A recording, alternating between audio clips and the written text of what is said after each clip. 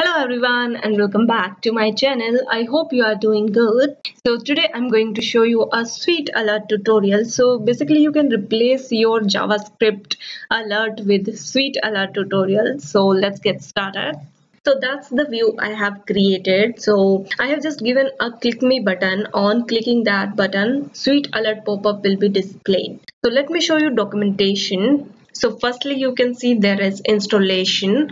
So I'll be using CDN link. Then there is basic example of sweet alert. So I'll be showing you that. So let me show you code now. So I'm using CodeIgniter so you can use any other framework as well. As just I'm going to show you view part here. Let's just copy the link of the CDN and paste. After that let me show you basic example that is of sweet alert let's say hello world I'll display. So paste in the script and now we need to connect our button with this sweet alert. So write on click write one function let's say click me and define this function in script. So write click me and inside that write sweet alert So now let's go and check in browser. So refresh and click on button click me. So now you can see our sweet alert pop-up is there written with hello world and one OK button is there. So if I'll click OK then our pop-up will be closed. So you can see it's very easy to add sweet alert to your project. So let me show you another example with title and a icon. So copy this one and paste in script so now let's go and refresh click button. Now you can see there is icon then there is title.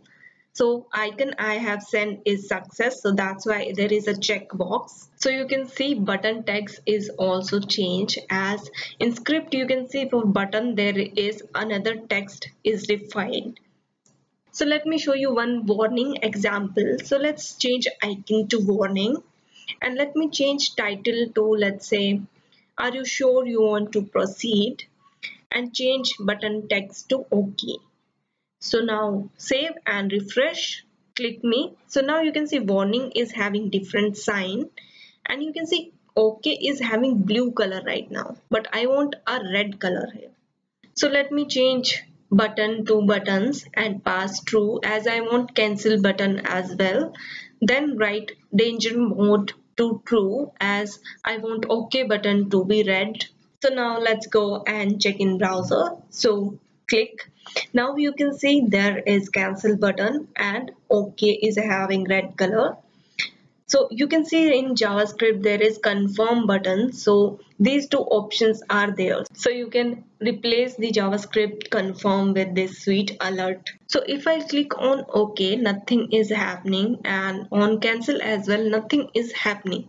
So I need to handle the user response that if he clicks on cancel or OK. So for that we will be using promises. So basically we will be getting a response. So we need to handle that. So write dot then and write response. So inside that so in response, I'll be getting true or false because there are two options. Let's say OK and cancel. So let's say if response is true, then again sweet alert, let's say for success. And if it's cancel, then let's say sweet alert of failure. So now let's go and check in browser, refresh, click on OK. So you can see there is success sweet alert and if I'll click on cancel then there is failure one. So you can see it's so simple to replace your normal alert with sweet alert.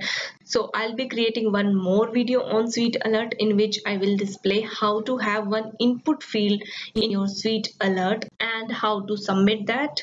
So that's all in this video. I hope you really like this video. Please like, share and subscribe to my channel. Thank you so much for watching.